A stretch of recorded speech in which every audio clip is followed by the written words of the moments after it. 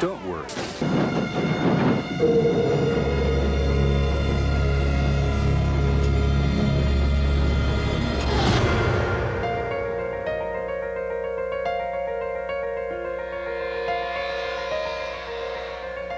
Washington state has a history of large earthquakes. More than 1,000 earthquakes are registered in Washington state each year. In an earthquake, non structural elements, which is anything that does not actually hold the building up, may become unhooked, dislodged, thrown about, and tipped over. This can cause extensive damage, interruption of operations, injuries, and even death. By taking action now, you can prevent injuries, save lives, and reduce the damage caused by earthquakes and other geologic hazards.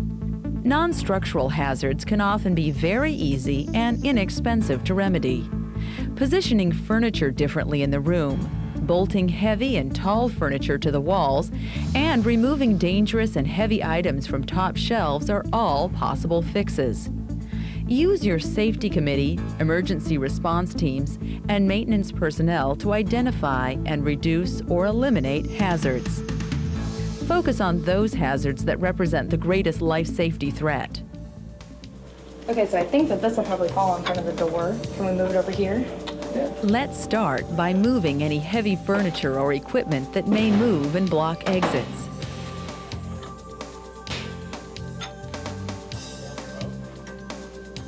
Ken Yuri from Emergency Supply Center will help with installing hardware and other non-structural procedures. Computers and monitors should be secured with seismic buckles, earthquake matting, or other earthquake restraining devices.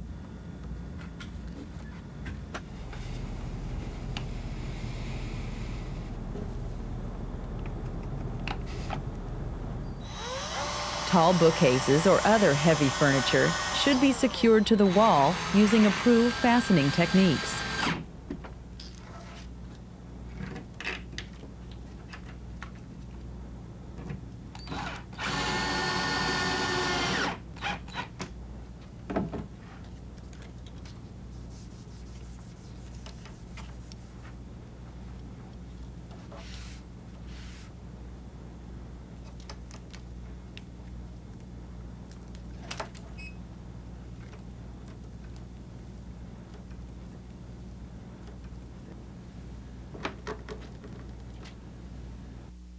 Wall-mounted objects over 5 pounds, such as monitors or televisions, should be connected to structural framing.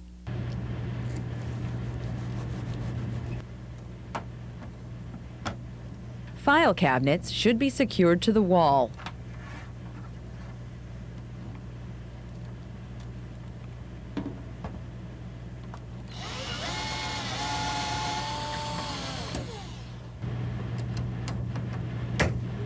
Drawers should remain locked when not in use.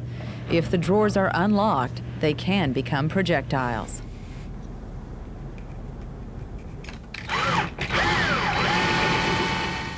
Wall decorations and pictures should be securely attached to the walls using recommended methods.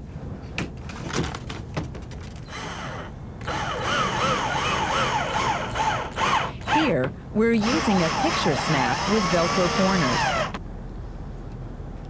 Closed eye hooks or wire could also be used. Potted plants or other heavy items should be properly secured with Velcro or guardrails. Hanging plants or mobiles should be well secured with wire loops or closed eye hooks.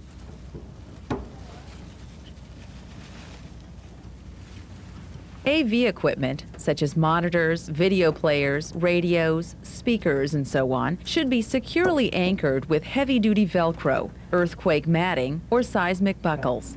Hey, Roger, what we're going to be doing today is taking your monitor, since you have all these windows here, and the glass could blow in on you and give you cuts and injuries, we're going to move you to a safer location away from the window. Oh, I see. Desks should also be moved away from windows in case they fracture during a quake. Or shatter-resistant film should be put on the glass to prevent broken pieces from flying about. Fragile objects should be attached to surfaces using either earthquake putty or museum wax, or placed on earthquake mats to reduce damage or injury. Okay, let's go ahead and take the high objects down so they don't hurt anybody. Okay, I'll take this one. Heavy objects should be moved from overhead cabinets or storage areas. Rolling carts should have their wheels locked. Bookcases should have bungee cords or guardrails to keep books from tumbling off the shelves. Many of these we're gonna print once we know what our budget, our budget. Remember, when the ground starts to shake, do not run. Drop, cover, and hold under a desk or heavy piece of furniture. Remain under the desk until the shaking stops.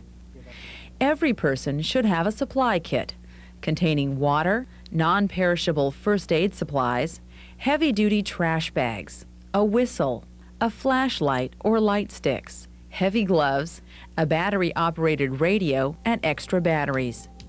Prepare because you care.